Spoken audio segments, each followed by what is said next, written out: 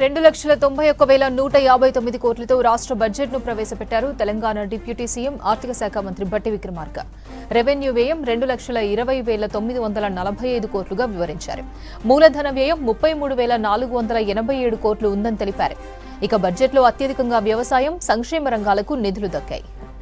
వ్యవసాయ రంగానికి డెబ్బై రెండు వేల ఆరు వందల యాభై తొమ్మిది కోట్లు అలాట్ చేశారు బట్టి. పంచాయతీరాజ్ గ్రామీణ అభివృద్ధి శాఖకు ఇరవై తొమ్మిది వేల ఎనిమిది వందల పదహారు కోట్లు దక్కాయి. ఇక ఆరు గ్యారంటీ స్కీంలకు ప్రాధాన్యత ఇచ్చారు ఆర్థిక మంత్రి. గృహజ్యోతి స్కీమ్కు రెండు వేల నాలుగు వందల పద్దెనిమిది కోట్లు గ్యాస్ సబ్సిడీ పథకానికి ఏడు వందల ఇరవై మూడు కోట్లు ఇచ్చారు.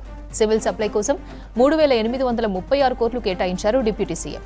ఎన్నికల్లో హామీ ఇచ్చినట్టుగా భూమి లేని నిరుపేద వ్యవసాయ కూలీలకు ఈ ఏడాది నుంచే ఏటా పన్నెండు వేల రూపాయలు ఇస్తామని చెప్పారు డిప్యూటీ సీఎం భట్టి.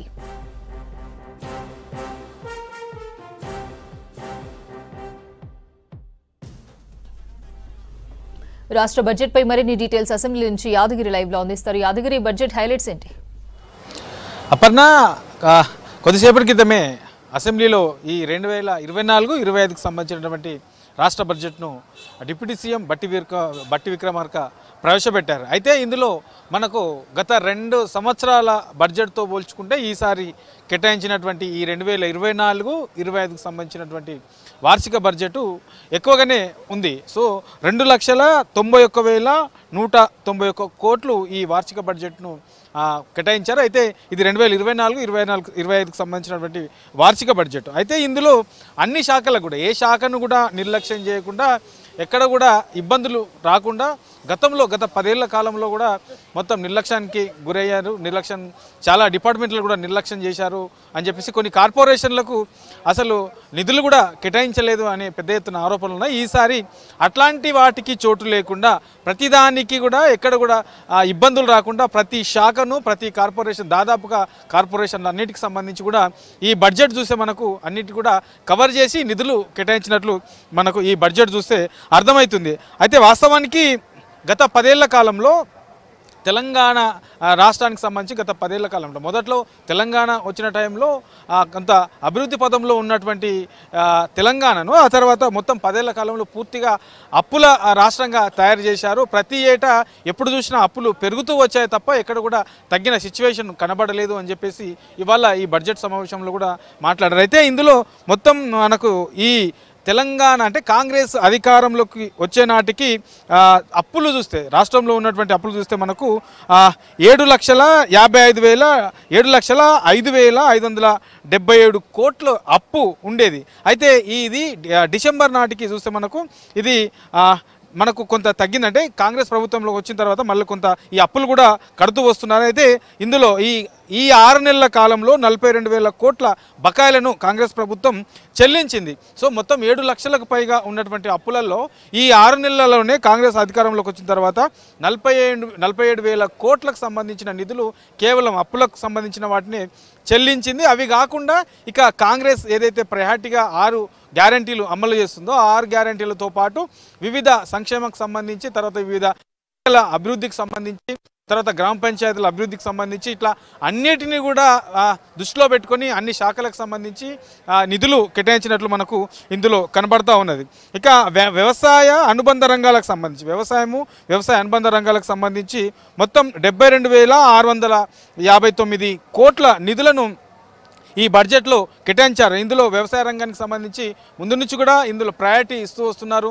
రుణమాఫీ చేస్తూ ఉన్నారు. తర్వాత రైతు భరోసా ఉన్నది. తర్వాత విత్తనాలకు సంబంధించినటువంటి సబ్సిడీకి సంబంధించినటువంటి అమౌంట్ ఉంటుంది.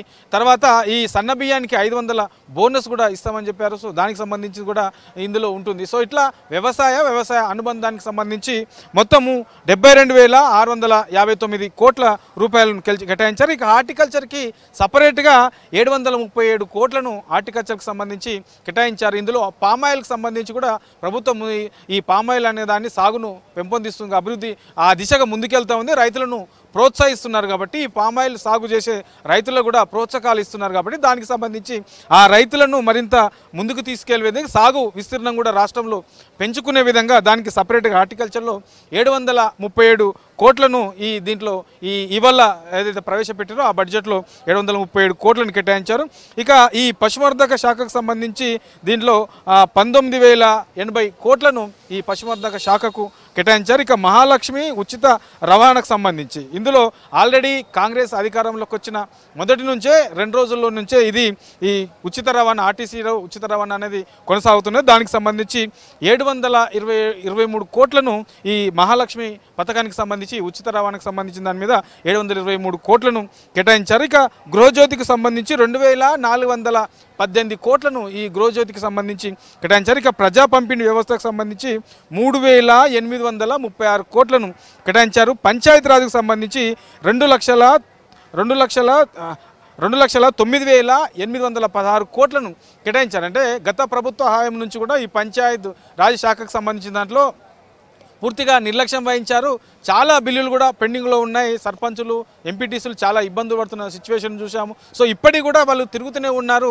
ఆఫీసుల చుట్టూ తిరుగుతూ ఉన్నారు. సో ఆ పెండింగ్ బిల్స్ అనేవి చాలా పేరుకుపోయాయి. దానికి సంబంధించి ఈసారి కేటాయించిన ఈ రెండు వేల ఇరవై నాలుగు ఇరవై ఐదుకు సంబంధించిన దాంట్లో పంచాయతీరాజ్ శాఖకు సంబంధించి కూడా ఈ కేటాయించినటువంటి బడ్జెట్ చూస్తే బాగానే మనకు కనబడుతుంది. రెండు లక్షల తొమ్మిది వేల ఎనిమిది వందల పదహారు కోట్లను ఈ పంచాయతీరాజ్ శాఖకు కేటాయించారు. ఇక మహిళా శక్తి క్యాంటీన్స్ అనేవి మహిళా సంఘాల నేతలకు మహిళా శక్తి శక్తి క్యాంటీన్లు అనేది ప్రభుత్వము వాళ్ళకు ప్రోత్సహిస్తుంది క్యాంటీన్లను కూడా ఏర్పాటు చేస్తుంది సబ్సిడీ కింద వాళ్ళకు కొంత ప్రోత్సాహకాలు ఇస్తున్నారు. దానికి సంబంధించి యాభై కోట్లను కేటాయించారు. ఇక హైదరాబాదు అభివృద్ధికి సంబంధించి పదివేల కోట్లు కేటాయించారు. ముందు నుంచి కూడా హైదరాబాద్ అనేది చాలా విస్తరించాలి మరింత దీన్ని డెవలప్మెంట్ చేయాలని చెప్పేసి ప్రభుత్వం చెప్తూ వస్తుంది. అందులో భాగంగానే దీనికి సంబంధించి పదివేల కోట్లను కేటాయించారు. ఇట్లా ఓవరాల్గా మనకు ఈ ఓఆర్ఆర్కి సంబంధించి తర్వాత Hyderabad metro old city metro ఇట్లా సపరేట్ దేనికి దానికి అంటే కాంగ్రెస్ అధికారంలోకి వచ్చినాక కాంగ్రెస్ ప్రభుత్వం ఏ ఏ వాటి మీద అయితే ప్రయారిటీ తీసుకుంటుందో ఏ ఏ పథకాలు అయితే అమలు చేయాలనుకుంటుందో